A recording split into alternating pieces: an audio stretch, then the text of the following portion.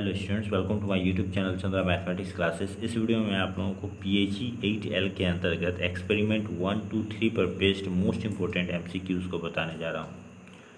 पहला है superposition theorem can be applied only to circuits having dash तो हम कहेंगे लीनियर बायलेटरल एलिमेंट्स ठीक है?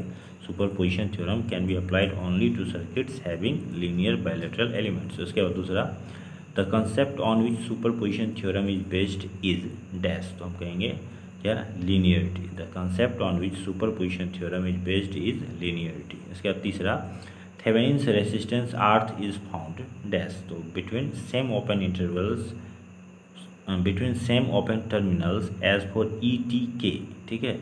यहाँ पर Thevenin's resistance Rth is found between same open terminals as for E T के उसके बाद चौथा है an ideal voltage source should have dash तो यहाँ पर क्या होगा? Zero source resistance an ideal voltage source should have zero source resistance उसके बाद पांचवा है for a voltage source dash तो terminal voltage can not be higher than source EMF यानी कि for a voltage source terminal voltage can not be higher than source EMF ठीक है?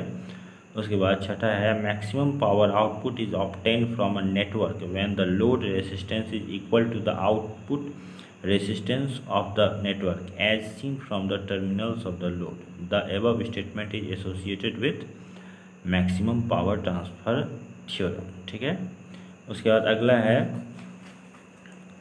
in any linear bilateral network if a source of E M F E in any branch produces a current I in any other branch then same EMF acting in the second branch would produce the same current in the first branch.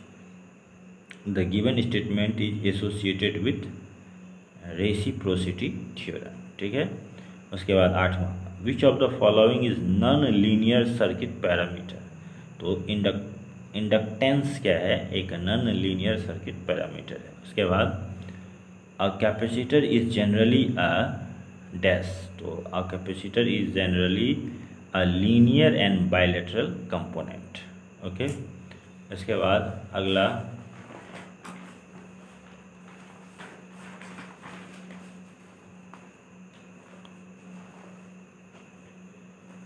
in any network containing more than one sources of EMF, the current in any branch is the algebraic sum of a number of individual uh, fictitious currents. ठीक है that is the number being equal to the number of sources of EMF, each of which is due to separate action of each source of EMF taken in order when the remaining sources of EMF are replaced by conductors the resistances of which are equal to the internal resistances of the respective sources. The above statement is associated with dash तो हम कहेंगे the above statement is associated with superposition theorem. उसके बाद अगला है for the maximum transfer of power internal resistance of the source should be equal to load resistance ठीक है? हमें यहाँ क्या बोलना है? For the maximum transfer of power internal resistance of the source should be equal to load resistance इसके बाद the circuit whose properties are same in either direction is known as dash तो हम कहेंगे बायलेटरल सर्किट ठीक है? The circuit whose properties are same in either direction is known as bilateral circuit इसके बाद the circuit has resistors capacitors and semiconductors diodes, the circuit will be known as dash क्या कह रहा है? The circuit has resistors capacitors and semiconductor diodes the circuit will be known as non linear circuit ठीक है? उसके बाद a non linear network does not satisfy dash तो क्या है? Answer both homogeneity as well as superposition condition A non-linear network does not satisfy both homogeneity as well as superposition conduction condition. ठीक है इसके बाद अगला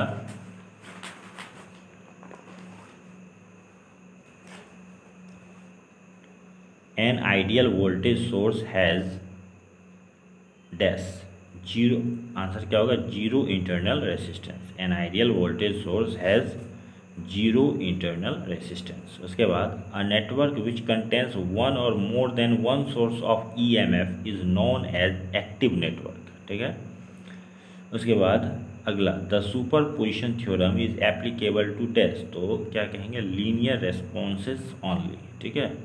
The superposition theorem is applicable to linear responses only उसके बाद the superposition theorem is applicable to dash तो यहाँ पर both current and voltage the superposition theorem is applicable to both current and voltage उसके बाद a passive network is one which contains dash तो क्या कहेंगे? No source of E M F in it ठीक है? A passive network is one which contains no source of E M F in it उसके बाद a terminal where there where three or more branches meet is known as dash तो क्या कहेंगे? Node ठीक है? ये terminal where three or more branches meet is known as node उसके बाद which of the following is the passive element तो ये क्या कहेंगे? कैपेसिटेंस कैपेसिटेंस क्या एक पेसिव एलिमेंट है।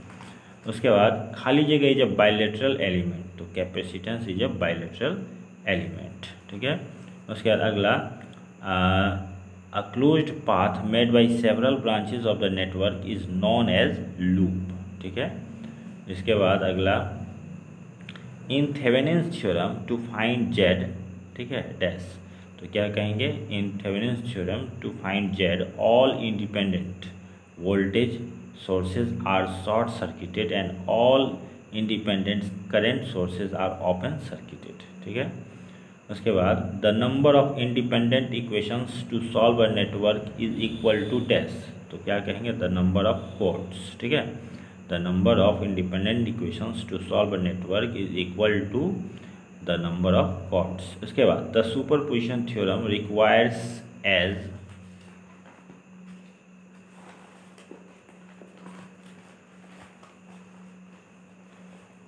as many circuits to be solved as there are dash तो क्या कहेंगे as there are sources ठीक है उसके बाद खाली जगह is a practical application of thermistors. तो यहाँ पर हम या तो फायर अलार्म बोल सकते हैं ऑटोमोटिव्स बोल सकते हैं या फ़ूड हैंडलिंग एंड प्रोसेसिंग बोल सकते हैं, ठीक है? उसके बाद, अ, थर्मिस्टर इज़ अ खाली जगह थर्मोमीटर तो क्या कहेंगे? Resistance thermometer a, thermistor is a resistance thermometer उसके बाद इज़ थर्मिस्टर अ सेंसर तो हम कहेंगे यस उसके बाद there are dash types of thermistors ठीक है? तो there are two types of thermistors ठीक है?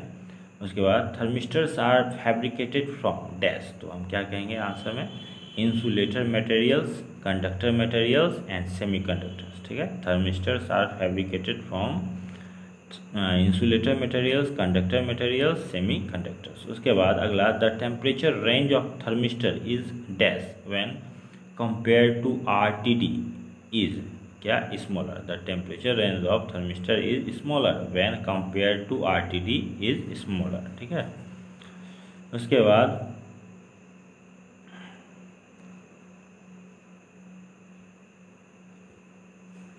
thermistor can be considered as खाली जगह रेसिस्टर तो हम क्या कहेंगे? Thermal thermistor can be considered as thermal resistor ठीक है? उसके बाद thermistor is a contraction dash क्या कहेंगे? Thermal resistor thermistor is a contraction ठीक है ऑफ़ थर्मल रेसिस्टर उसके बाद थर्मिस्टर्स हैव डैश तो negative temperature coefficient thermistors have negative temperature coefficient उसके बाद क्या है? थर्मिस्टर्स डैश तो thermistors sense small changes in temperature ठीक है? उसके बाद thermistor has a resi resistance of dash thermistor has a resistance of dash तो हम क्या कहेंगे? Thermistor has resistance of hundred ohm to hundred kilo ohm ठीक है? Hundred ohm to hundred kilo ohm उसके बाद thermistors are suited for precision temperature ठीक है? मेजरमेंट्स ट्रू और फॉल्स तो हम कहेंगे true thermistors are suited for precision temperature measurements true उसके बाद thermistor materials is pressed dash तो अंडर हाई प्रेशर ठीक है? Thermistor material is pressed under high pressure उसके बाद thermistor follows which law for small variation thermistor follows which law for small variation तो क्या बोलेंगे? ओम्स लॉ उसके बाद at small values of voltage a thermistor dash तो क्या कहेंगे?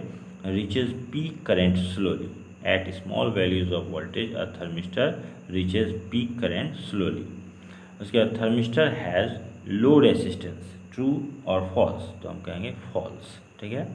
उसके बाद DC average current of half wave rectifier output is dash तो हम कहेंगे आई एम बाई पाई उसके बाद अगला DC power output of half wave rectifies is equal to rectifier is equal to तो I M square by pi square into R L उसके बाद ripple factor of a half wave rectifier is क्या? One point twenty one उसके बाद if input frequency is fifty hertz then ripple frequency of half wave rectifier will be equal to fifty hertz उसके बाद transformer utilization factor of a half wave rectifier is equal to dash तो zero point two eight seven okay उसके बाद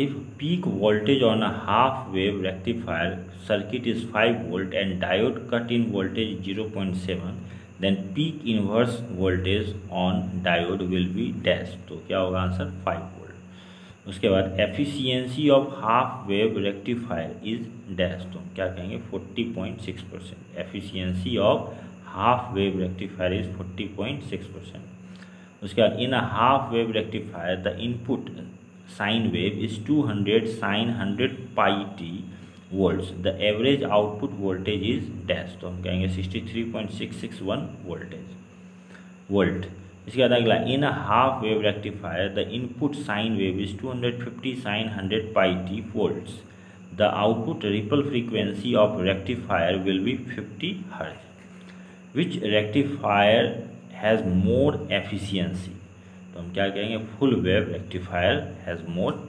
efficiency उसके बाद what rectifier does rectifier करता है क्या? है तो converting AC to DC AC को डीसी में कन्वर्ट करता है। फिर अगला from the battery charger we get dash तो क्या कहेंगे? DC direct current the average DC voltage across the load is dash तो क्या कहेंगे? Zero point six three seven V max ठीक है?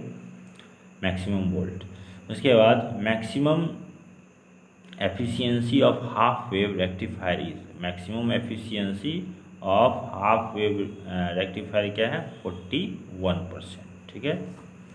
उसके बाद अगला maximum efficiency of full wave rectifier is क्या? एटी वन परसेंट उसके बाद अगला in which rectifier value of ripple factor is less तो कहेंगे full wave rectifier in full wave rectifier value of ripple factor is less उसके बाद ripple factor of half wave rectifier is क्या? तो 1.21 ripple factor of half wave rectifier is 1.21 उसके बाद ripple factor of full wave rectifier is 0.483 ठीक है? उसके बाद ripple factor is equal to what तो I R M S by I D C उसके बाद the dash stores the electric charges तो क्या बोलेंगे? Capacitor the capacitor stores the electric charges उसके बाद अगला one coulomb means dash number of electrons तो six point two five into ten to the power eighteen electrons उसके बाद in a shunt capacitor filter the mechanism that help the removal of ripples is dash तो क्या? The property of capacitor to store electrical energy ठीक है? इसके बाद अगला what is the effect of an inductor filter on a multi frequency signal तो क्या बोलेंगे? It dampens the AC signal ठीक है? इसके बाद अगला the inductor filter gives a smooth output because dash तो यहाँ कहेंगे it offers infinite resistance to AC components ठीक है?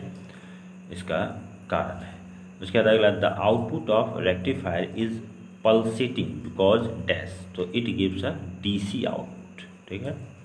उसके बाद अगला what causes to decrease the sudden rise in the current for a rectifier तो आंसर है द मैग्नेटिक एनर्जी उसके बाद अगला in a shunt capacitor filter the mechanism that have the removal removal of ripples is dash तो the property of capacitor to store electrical energy उसके बाद अगला है which of the following are true about capacitor filter कहेंगे it is electrolytic ठीक है?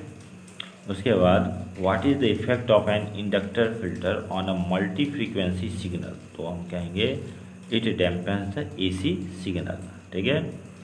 उसके बाद अगला है dash opposite any change in current answer में है inductor inductor opposite any change in current ठीक है? उसके बाद shunt capacitor filter is also called capacitor input filter true और फॉल्स तो कहेंगे ट्रू ठीक है? उसके बाद inductor is also called dash ठीक है?